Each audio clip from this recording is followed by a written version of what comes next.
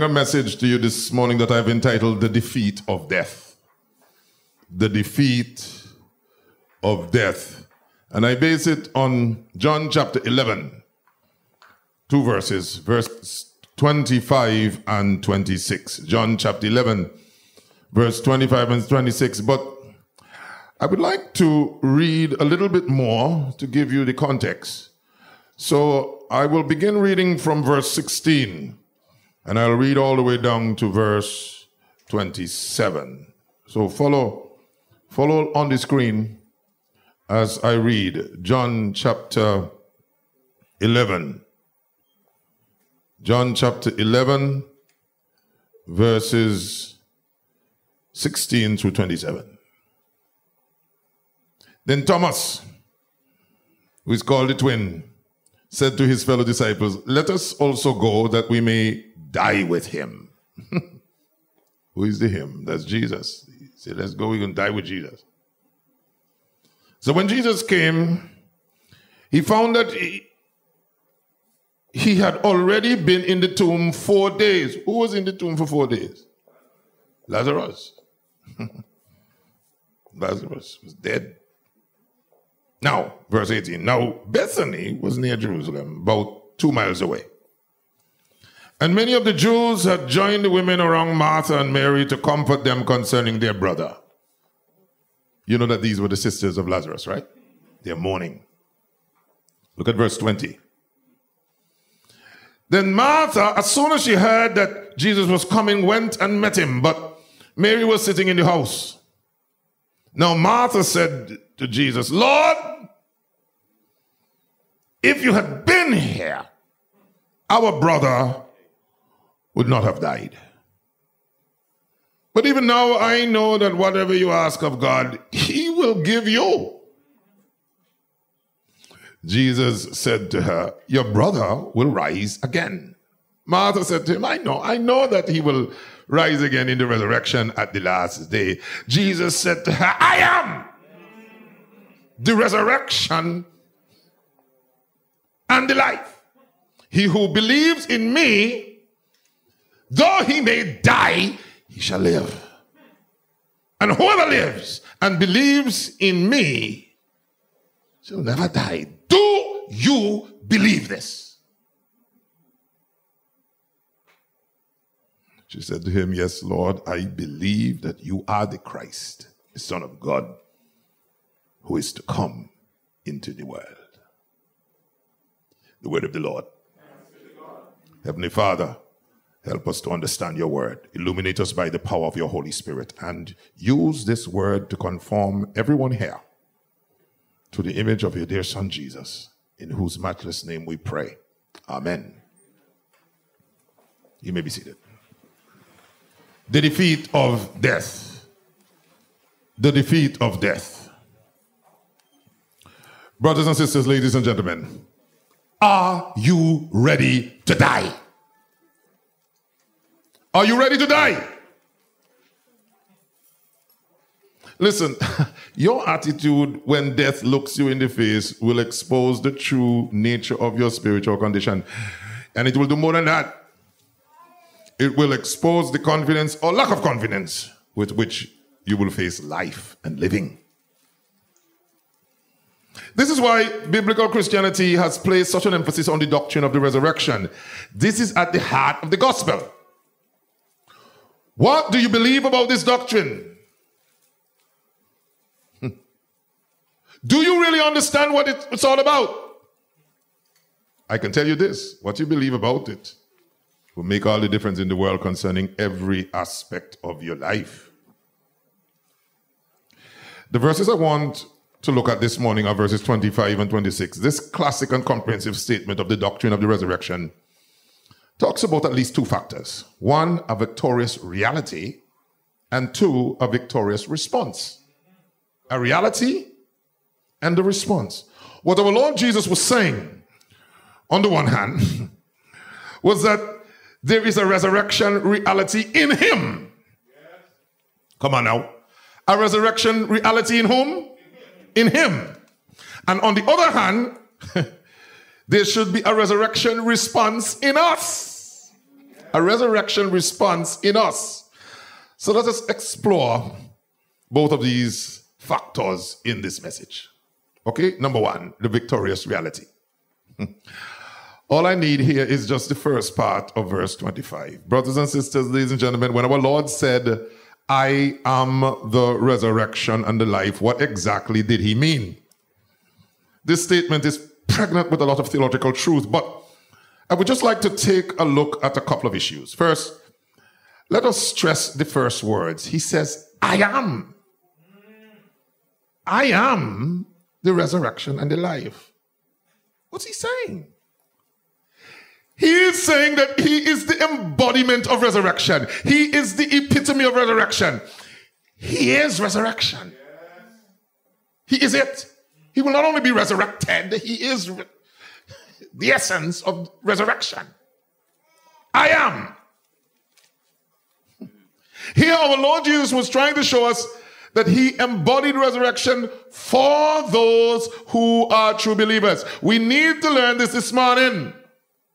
He was raised for believers, for the elect. Our Lord was not saying, I will be resurrected, though he will be resurrected. He was not saying, I will show you how you can live so that you will be resurrected. No, no, no, no. He was not saying that either. He was saying, I am the resurrection. I am your resurrection. I am the way anybody gets resurrected. My resurrection is yours. I have been raised for you.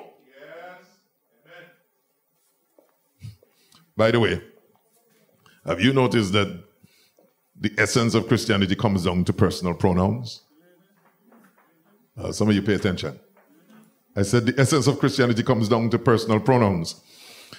If you are here this morning saying, Look, the Son of God was born, He died, He was raised, He ascended, He is coming again, that doesn't make you a Christian. That does not make you a Christian. All that means is that you have learned some important facts about what true Christians believe. But reciting the same doesn't make you a biblical Christian.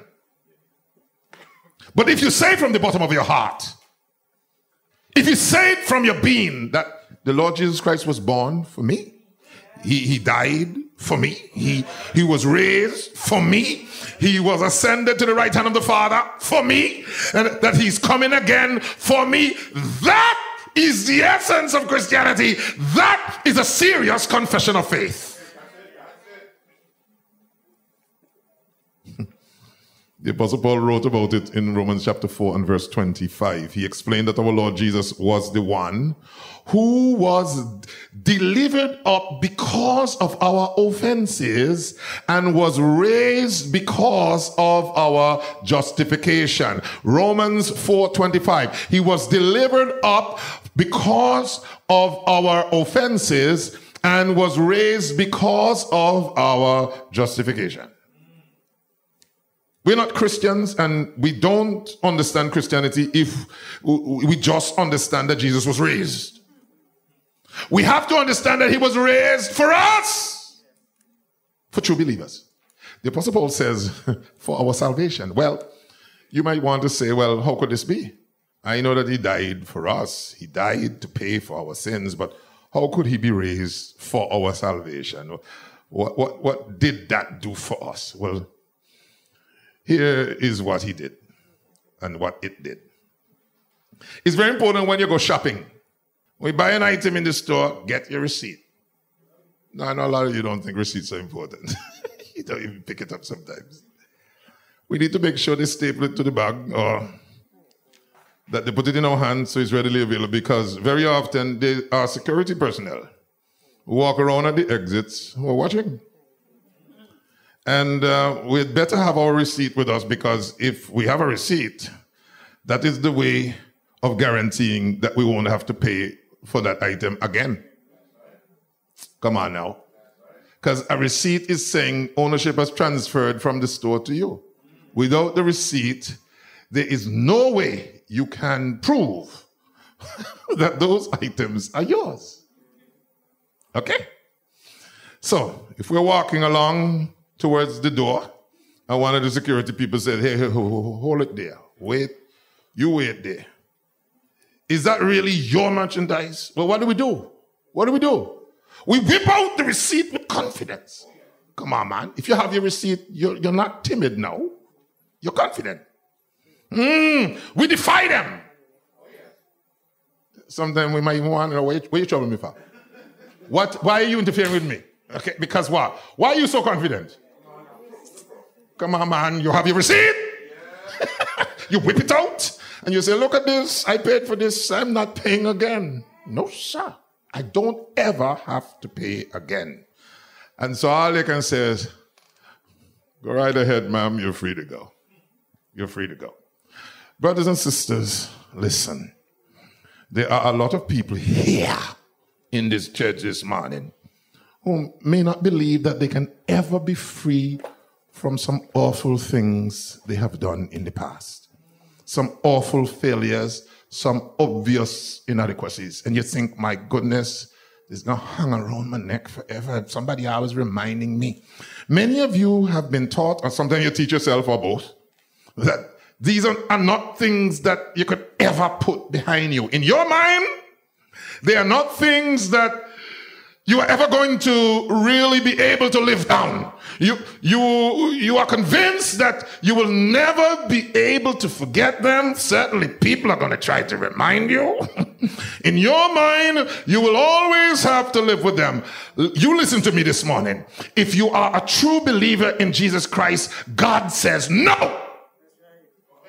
On the cross of Calvary, Jesus paid the price and he gave you your receipt. Oh, come on. You say, what, what, what is this receipt? How do I know that Jesus has paid in full for everything? How do I know that Jesus has paid so that I will never have to pay again? How do I know? Well, God has given you a receipt. Well, what is the receipt? When our Lord Jesus was raised from the dead, God stamped, paid in full across the pages of history in letters that we can all, through the eyes of faith, see. God was saying this payment was sufficient. You never have to pay for these sins again. Do you understand that? Do you have your receipt? Do you look at the resurrection and say, that's God's way of saying to me that I will never have to pay for the things that I've done again because Jesus paid it all. And all to him I owe. Sin had left a crimson stain, but he washed it white as snow. Do you live with resurrection power? That's your receipt. there are people out there, hateful people, who take pride in bringing up anything from your past to shame you. That's their job. Their job is to memorize your failures and bring them up to throw them in your face. Okay? That's, they think that's their job. They are determined to assassinate your character. Sometimes, if they can't find anything, they just make up something. Are you following me? But because of the resurrection, you may boldly invite them to bring it on. For God has raised up, raised up Jesus from the dead to give you the right to shout, I'm covered. That's what were you talking about there? That's paid for. this business has been removed from consideration. It is old news. It is irrelevant. It is gone. Gone as far as the east is from the west. Hallelujah. When our Lord said, I am the resurrection, he meant I'm raised for you. But let us look at the last part of the statement. I didn't just want to emphasize I am, whether he is the embodiment of the resurrection. But he says, I am the resurrection. Our Lord was not only telling us that he was raised for us, he was also saying, I have achieved what? Victory and power over death. I am the embodiment of resurrection. I came here to kill death. I came here to destroy it. Death looms over and casts a huge shadow on all of us. And right now, in contemporary Western culture, there are at least two ways that people deal with the monstrosity called death. And death is a monstrosity. Nobody can live a day without some kind of strategy for dealing with the reality and inevitability of death. It's all around us. The death is all around us. We can't get away from death. It's in our face. Hmm. And right now, people are responding by death basically in two ways, Hmm? but they're both inadequate. Most people today, first of all, deny it. They're in denial. What, how do they talk? They say, let's not talk about death. Death, death is obscene. De- death is something we're not going to talk about. As a pastor for 36 years and counting, I have officiated at many funerals. I have noticed that many in many cases, people respond to death like a bunch of prisoners in jail who make up their mind that they're not going to talk about it, they're not going to deal with it, they're not going to cope with it. That's their way of handling incarceration. They promise never to talk about it, never to mention that they were in the jail, uh, never to make any reference to it. They just sit there and talk about everything except the fact that they're in the jail. Well, stay with me. They refuse to remind each other about it, so they try to forget about it themselves. It is a kind of conspiracy of silence. Let's not admit that we're in jail. Let's deny it. Let's never talk about it. Let's, let's never make a re- reference to it at all. The only problem is that you can't keep it up. You can't keep it up. And this is what happens at a funeral. At a funeral, this person that we love and know, they're in the casket. Rude awakening. They died. You can't keep it up because it's going to be right in your face. Like you're in the jail and they slam the door. And you just remember you had something to do this afternoon and they say, where you, where you, where you think you're going? huh? Rude awakening. Mm, it's kind of embarrassing, you know. It's embarrassing because we are then forced to deal with the one thing we pledged to ignore. The big elephant in the room has begun to throw its weight around. For society's sake, many think that we must hide the unbearable disturbance caused by the ugliness of dying. Many people seem to have this irrational desire to believe that life must always be happy. For them, death is the bleakest admission of despair. So, if anybody begins to actually admit to themselves the inevitability and the reality of death, they imagine that life has been drained of all the joy. They will shout, Come on, no, come on, man. Don't talk like that. Don't spoil the day with that morbid language. So they deal with death by denying it or by ignoring it. Now, the other way some deal with death is to sentimentalize it. Mm. It is just another approach that tries to get around the problem. This is when they say, okay, all right, all right, let's not be afraid of death. Let's face it and let's say it's our friend. Let's defang death. Let, us tell ourselves that death is just a natural thing, that death is not so awful. We will affirm that death is a beautiful thing, it's a peaceful thing. We will insist that death is just the final stage of life. Death is just the final. St- and so this is how they deal with it. Haven't you heard that before? and when you hear it viscerally, Talking about deep down inside, in your heart, you know it's a damnable lie. You just know it's stupidness. This lie is a cosmetic statement that works about as well as putting lipstick and rouge on a skeleton. All it does is make it more hideous. Brothers and sisters, ladies and gentlemen, the Bible gives us an understanding of death that is the only realistic way to live in freedom in this world. The Bible says, first of all, that death is an enemy. It's an enemy. in 1 Corinthians chapter 15 and verse 26, the Apostle Paul wrote, The last enemy that will be destroyed is death. It is an enemy. It's not a friend.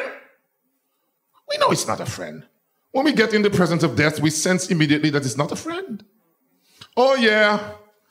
For a little while at first, sometimes under some circumstances when somebody dies, they can look tremendously and angelically peaceful in the casket. Or wherever you find them, on the bed or on the floor, they look so peaceful. Hmm? You go ahead. Just leave them alone for three or four days and you'll see what peace is there. Death is a twisting, perverting, and destructive thing. It is actually abnormal. You say, Pastor, how are you going to say it's abnormal and you happen every day? Well, I speak from the perspective of how God originally created the world. Death is the result of sin. The day you eat thereof, you shall what? It's the result of sin. It's not a friend, it is an enemy. We hate it. That's why we hate it. And it happens every day. We know it's an enemy. we hate it. We know viscerally that we were not meant for this. And even in the presence of Lazarus, we see that we were not meant for it. Our Lord Himself was about to raise Lazarus from the dead. And what did He do? Did God incarnate um, reprimand them? No, He wept too. He joined them. Jesus wept. Please notice that our Lord did not reprimand the mourners for their weeping. He did not say, You guys don't have a clue, you know. I, but I know what I'm going to do. He didn't say, You're weeping, but wait until you see what happened. No, no, he didn't say anything like that. He saw them weeping and he joined them. He wept too. Because in the presence of death, Jesus senses what we sense. It's a hateful thing, it's an enemy. This is friend stuff. Ridiculous. We know, we all know that we are not just a little drop of water slipping back into the ocean. You know, that's how the Eastern mystical religions talk. They say, You're just a drop of water slipping back into the ocean. That's all it is. Viscerally, we know that's foolishness. Death is an enemy. On the other hand, Christianity alone, Christianity, biblical Christianity alone, of all the religions in the world, sees death not only as an enemy, but a defeated enemy. What did the Apostle Paul say in 1 Corinthians chapter 15 and verse 55? He says, Oh, death! Where is your sting? Oh, Hades! Where is your victory? Now, how can anybody in their right mind have the audacity to taunt death? When the apostle said, Oh, death, he was teasing it. He was taunting at it. He was basically, like a little kid does, sticking his tongue at it. How does anyone have the right and the audacity and the power to do such a thing? The answer is this any Christian man, any Christian woman has the power to do that because the Bible says Jesus has broken the bands of death. The Apostle Peter said of our Lord in the first Christian sermon in history that Jesus was the one whom the Father, whom God raised up, having loosed the pains of death, because it was not possible that he should be held by it. That's, that's Acts chapter 2 and, and verse 24. Huh? He was the one whom God raised up, having loosed the, the pains of death because it was not possible that he should be held by it. In other words, our Lord Jesus broke the bands of death. It was not possible for them to hold him down. As a result, death cannot harm those of us who are in Christ. If Jesus died so that true believers don't have to pay for anything in their past anymore. And if he was risen to be their living savior, then what can death do to us? If you're a true believer, I dare you to taunt death. Come on, man. I said, taunt it. Stick your tongue out at it. Show no fear. Death is a toothless dog. It has a scary bark, but it has no bite. This dog can't even eat meat. It can lap up a little soup, maybe, but it has no threat over the believer because Jesus has broken the bands of death. So, what do you say? the real Christian says, Come on, death as you reach out your hands to strangle me, instead of breaking me, you will just only usher me into glory. The worst thing that can happen to a Christian now becomes the best thing. the worst thing that can happen is that we die. In which case it creates more power. It creates more glory in our life than ever. Death becomes to the Christian a dark tunnel into the ballroom. That's all there is to it. And so because he lives, we can face tomorrow. If you're a biblical Christian, all things are yours, whether in life or death, all things are yours. If you live through this day, then you're with God. If you die today, you'll still be with God. The apostle Paul told the Philippians in Philippians 1:21, for me, uh, for to me, to live is what? Is Christ. And to die is what? Gain. A real Christian says, come on, cross. Come on, grave. The lower you lay me, the higher you'll raise me. Come on! What can you do to me? There's a taunting. You can bid death scorn and defiance, even though death is the number one power arrayed against a human being. Christians look it right in the eye and say, Come on, come on, spare not, do your worst. Eh, And and if you try, you will only make me better than before. Go ahead, give it your best shot because I'm bound to rise again. Hallelujah to the Lamb of God. Let me ask you quickly because I have to move to the next point. Do you have your receipt? Uh, you think I'm going through all this for a joke? I'm asking a question. Do you have your receipt? If you have your receipt, do you have what comes with the receipt? Because with this receipt, you have peace. Oh, you didn't hear me? I'm saying if you come out the shop and you have your receipt and somebody call you, you, you don't you don't start to shit. Come on, man. You have peace because you know that what you have in the cart is paid for. Come on now. So, so I'm asking you if you have your receipt. Because if Jesus paid for you, you're supposed to be a peaceful person. Everybody else buckling. Everybody else is afraid. Everybody is intimidated. And they're wondering, what do you? You don't hear what happened? You didn't hear what happened? And of course, they'll tell you the worst news they can. And you say, okay, yes, that's bad. But, come on now. you see, because you have your receipt. And because Jesus already dealt, dealt with this question of death, you are not intimidated. You are not afraid. Real Christians are not afraid to die. If you are afraid to die, you have a problem. You may not be a real Christian.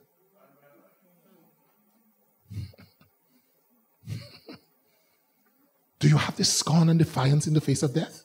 And therefore, is fear really banished from your life forever? One of the ways you can tell whether or not you have peace with God, one of the ways you can tell whether you have your receipt is how you handle death.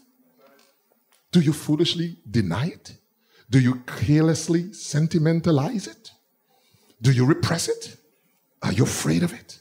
If you are, then you prob- that probably means that Jesus Christ might be your moral exemplar.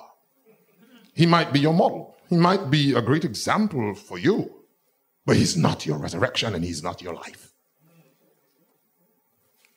You see, you might have made him your example, but you've never said to him from the bottom of your heart and in your own words, Oh Lord, I cannot in my sin ever be acceptable to the Father, but you, because you live the perfect life and imputes it to me and died vicariously for me and impute my sin to your account because your righteousness has been imputed to me. I now will hate and forsake my sin and I will trust and obey Jesus Christ alone.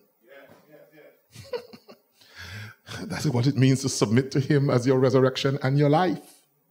Mm. When that happens, you have your receipt. Do you have your receipt? Are you living that way? Are you rejoicing in this? Can you taunt death and bid scorn and defiance to it? Or is death still an unbearable disturbance for you? The second thing here. What's the first thing?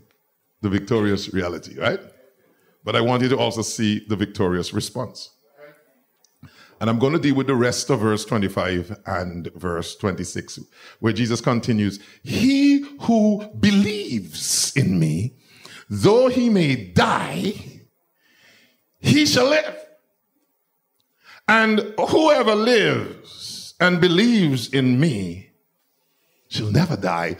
Do you believe this? Do you believe it? Brothers and sisters, ladies and gentlemen, we have seen that our Lord was raised for us and that his resurrection destroys death. But we have something else here. Our Lord said, in effect, therefore, if you believe in me, two things happen. Two things happen. On the one hand, he says, He who believes in me. In other words, the resurrection reality of Christ comes to us through the little word believe. Believe. Will somebody say believe? By the way, everywhere you go in this country, people use the word believe, you know. Every religious group talking about believe, but do they really believe?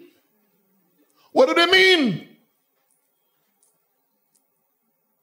Some, some, some think it is accept, like you accept some facts. But Jesus doesn't call that believe. when you believe, you trust and obey Christ alone. I said, when you believe, you what? You trust and obey Christ. You trust what he did, not what you do. Every false religion in this world is telling you to trust what you do. No, no, no, no, no. Biblical Christianity is you trust what he did. What did he do? He lived a perfect life to impute that righteousness to sinners. And then he died vicariously, uh, the ultimate death, to impute their sins to his account. When you believe, you trust that. You trust that. You don't just trust, you trust and obey. Because you got to prove that you love him. You obey him to prove. He said, if you love me, what? Keep my commandments. So you, you, you, you obey to prove that you love him. He says, He who believes in me, though he may die, he shall live. And whoever lives and believes in me shall never die. Do you believe this? Now, our Lord Jesus was actually talking about two resurrections that come into our lives right here. Two resurrections.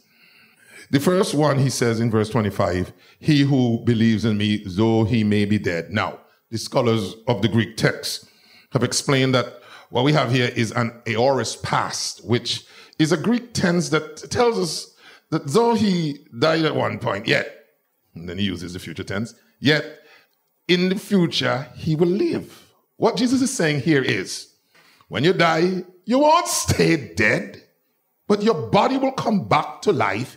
You will get a new body in the resurrection. His point was abundantly clear. When you die, my beloved, the Bible tells us we immediately go into the conscious presence of God. Anybody who dies right now who is a true believer goes into the conscious presence of God. The epistle of Hebrews talks about the spirits of just men made perfect worshiping at God's feet. You're disembodied. Your body goes into the grave, but your soul goes into the presence of God to begin to enjoy the benefits of glory. But unlike Greek religions and pagan religions and Eastern religions, Christians do not envision a bodiless eternity. We know there will be a resurrection when our souls that are in heaven will get a new body. And that's when we will enjoy the riches of glory forever and to the fullest. Mm. So, so, so, so we don't see the body as a bad thing at all. No, God created our bodies and our souls, and He's going to redeem both our bodies and our souls. Our, our Lord Jesus said the same thing as, as, as Job, you know. Jesus, Job said it hundreds of years before Jesus came. What did Job say? Job 19, verses what? 25 and 26. Job said, For I know that my Redeemer lives and he shall stand at last on the earth. And after my skin is destroyed, this I know. What did he know? that in my flesh I shall see God. Will somebody give the Lord a hand clap of praise? On the last day, though our old flesh has been eaten away, we will get new flesh. The one who created us in the beginning will recreate us. Mm. Mm, because he has the name which is above every name. On that day, true believers will get new bodies. Our souls in heaven will be united with our new bodies. And we shall look death in the face and say, Oh, grave, where is your victory? In our text, our Lord also spoke of a second kind of resurrection. He said in verse 26, And whoever lives and believes in me shall never die. Do you believe this? What's he talking about? He was talking about a different kind of life here. He was not talking about how our bodies get renewed and, and resurrected. Here, he was talking about a kind of life that once it starts, never goes out. Come on, you know about that kind of life because it's written in John 3.16. Everybody knows John 3.16. For God so loved the world that what? He gave his only begotten son that whosoever believes in him shall what? But have what? If you have everlasting life, then that means that the life is forever. It's eternal. That is why anybody who say, you know, I used to be a Christian, you know, they're automatically Chinese tribunists. Because the life Jesus gives is eternal. It doesn't stop. Even when a person dies, it doesn't stop. it continues in a new dimension. Hmm? So if somebody's so-called Christian life stops, just, just inform them, please. What you have is not what Jesus gave. Because what Jesus gives is eternal. Okay? You, you got something, but you didn't get what he gave. Huh? he gives eternal life. So nobody used to be a Christian. That's a joke. Once you are a biblical Christian, you will always be. Hmm? Number one, he's the best father. Anybody know that our God is the best father? Mm, and whom the Lord loves? Come on, he's going to keep us in line. Sometimes we will say, let me go. Let. he, but he has a love that will not let us go. Aren't you glad about that? I'll give the Lord some praise for that. So our Lord was saying, in effect, there's a spiritual resurrection that happens now. Mm-hmm. He talked about the physical resurrection, you know, as we are entering the new heavens and the new earth. Huh? But he's talking about the spiritual resurrection that, that happens now. When the Holy Spirit comes into your life, when you believe on Jesus, that Spirit of God comes in and renews you and changes you, and you are transformed from one degree of splendor into the next until the moment of physical death. In which case, that process actually becomes perfect, and you burst like a flame into the presence of God, burning with God's own joy, God's own energy, God's own purity, and God's own perfection. So, we're talking about a kind of life that starts now. That is our Lord Jesus' whole point with Martha. Martha said, in effect, Yes, I know, I know, I know my brother will be resurrected sometime in the distant future. And what does Jesus say? He said, Hey, I am the resurrection and the life. Hmm? The resurrection is not just a future possibility, it is a present certainty. Our Lord Jesus is saying, Whenever, well, wherever I am, there is life. Necessarily.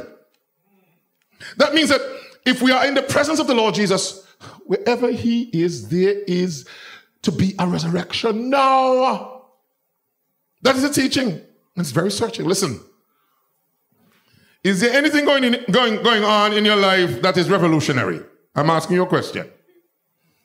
Have you had an experience that you can describe in, in, in, in this way that your heart was changed radically so that where there was hardness, there is no softness. Come on, man. Come on. That's what I'm talking about. That's what I'm talking about. There was hardness at one point. You know there was hardness where you didn't want anything. Now there's softness, and you can't get enough of his word. Hmm. Something happened to you. You know something happened to you. A change has come over you. You weren't looking for it. Your friends are surprised. You mean you got saved? I'm so shocked. And how do you answer? I'm more shocked than you. Because there was hardness, and now there is softness. There was stagnation, now there is freshness. There was blindness, now there is sight. There was death, now there's life. can you say that something so revolutionary, something so amazing has happened in your heart and in your life? That's what he's talking about. There's been a spiritual resurrection in your life. Can you point to the moment or the process it happened in you? Well, where you heard the word of God, and even though you heard something like that in the past, is only now you're really hearing. Only now it begins to make sense. Only now you realize I have to change. I have to change.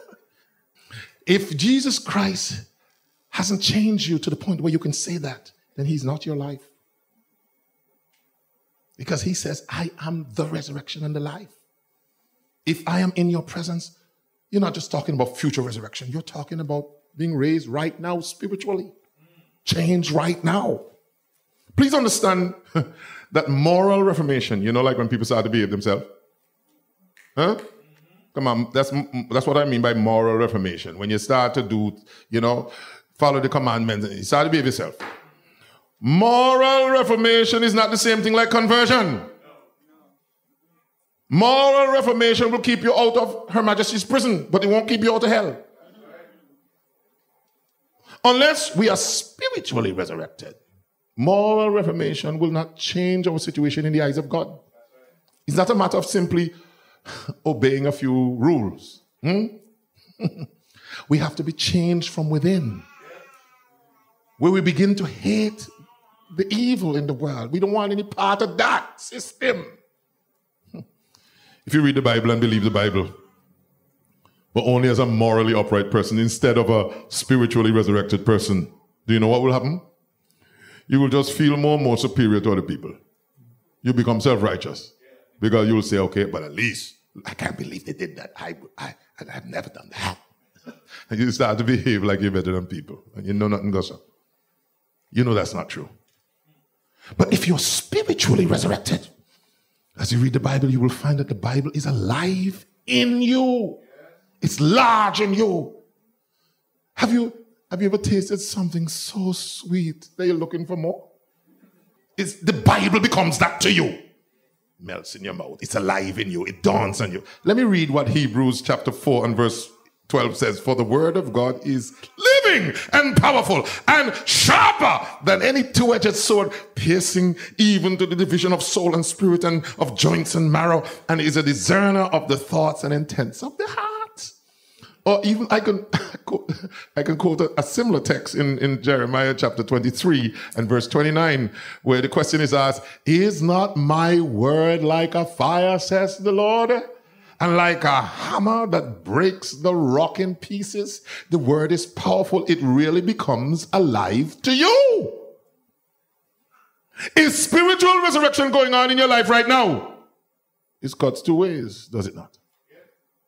On the one hand, look at yourself. What is looming over your life? What are the big obstacles in your life? If you're a Christian, if you believe in Christ, if you have submitted to Him as your resurrection and your life, and not just as a moral example, do you realize that nothing, and I mean literally nothing, can actually stop God from accomplishing His purposes in your life, which is to make you both holy and joyful? That means that whatever is in our lives that is holding us back has to come down. It is written in Jude, Jude verse 24. Now to him who is able to keep you from stumbling and to present you faultless before the presence of his glory with what? Exceeding joy. Stop a, moment, stop a while here. Just think about it. Our Lord Jesus Christ is going to present true believers as perfect before the throne with great rejoicing. Listen, the greatest joy possible is to rejoice in our own beauty, but without a shred of self importance, without a shred of pride, just delighting in knowing that we please Christ and also that it is He who has done this in us. He is the one who is making us beautiful. He is the one who has made us and has presented us faultless and spotless and without blemish before the throne with great rejoicing. Do you really want this? Is there a part of us that desires that? Are we rejoicing in that? But there's another side to it, you know. On the other hand, are we actually using this resurrection power in our lives? You know, the best thing that can happen today is to demonstrate the resurrection power in our lives, is to actually kill a particular sin that is obvious in our experience. Yes, yes, yes. You can find out if there's resurrection power if you if you if you be honest about a particular besetting sin and kill it today. Kill it. Kill it. And you know exactly what it is. Other people may not know, but you know what it is. Because it is sins like, like this besetting sin in us that hold us back and keep that life giving resurrection power from flowing through our bodies. So I say to you, prove that there's resurrection power. Find that besetting sin in your life and kill it. Kill, kill it today. Don't just stop it. Act with hatred towards it and remove access to it. Mortify it. Kill it today. Kill it today. if you're a biblical Christian, look at a sin in your life. Look at something in your life that is holding back the resurrection power, something that is continuing to allow decay and, and breakdown to happen in your life, and say, Lord, Lord, by your grace and power, I'm going to kill that thing today. I'm going, I'm going to make myself an active enemy of death in my life today. I'm going to kill it. Yes, Lord, I believe. You have to say it because He asked you, Do you believe? Do you? say yes? I believe. If you are believing for the first time this morning, or even if you are believing again because you sense revival is coming in your life, then all of that resurrection reality comes in. What is the link between I am the resurrection and the life and all the great things that can happen in your life? Believe. Believe. Trust what Jesus did and obey Him to show your love for Him. Believe. Submit to Christ as your resurrection and your life.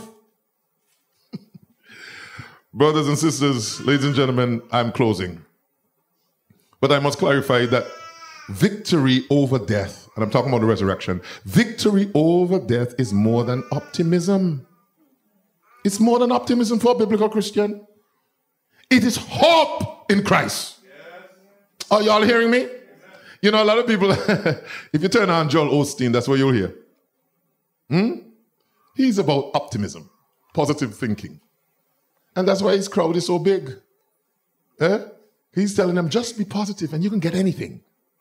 And they're thinking about money and cars and house and land and, and health and wealth. And just be optimistic, positive thinking. That's not what I am talking about. According to one reform scholar, J. Packer, I quote Optimism hopes for the best without any guarantee of it arriving and is often no more than whistling in the dark. He continues Christian hope, by contrast, is faith looking ahead to the fulfillment of the promises of God. As when the burial service inters the corpse in sure and certain hope of the resurrection to eternal life through our Lord Jesus Christ. So he continues optimism is a wish without warrant. Christian hope is a certainty guaranteed by God Himself. Optimism reflects ignorance as to whether good things will ever actually come. Christian hope expresses knowledge that every day of his life and every moment beyond it, the believer can say with truth on the basis of God's own commitment that the best is yet to come. the best is yet to come. So what do I say about this? I'm, I'm sitting down. I'm going to sit down. But listen, what, what, what, what, do I say about all these things? Where does my mind land? Where does it rest when I hear all these things again? Because my Lord Jesus is the resurrection and the life, I am enabled to sing and I am able to say without fear of contradiction, only faintly now I see him with the darkling veil between. But a blessed day is coming. when his glory shall be seen. Hey, hey, what rejoicing!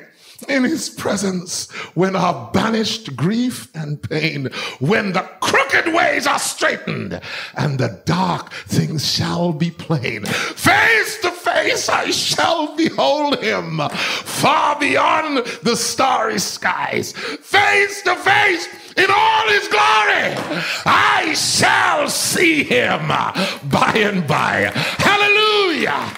Hallelujah to the Lamb of God. Amen. Amen. Amen.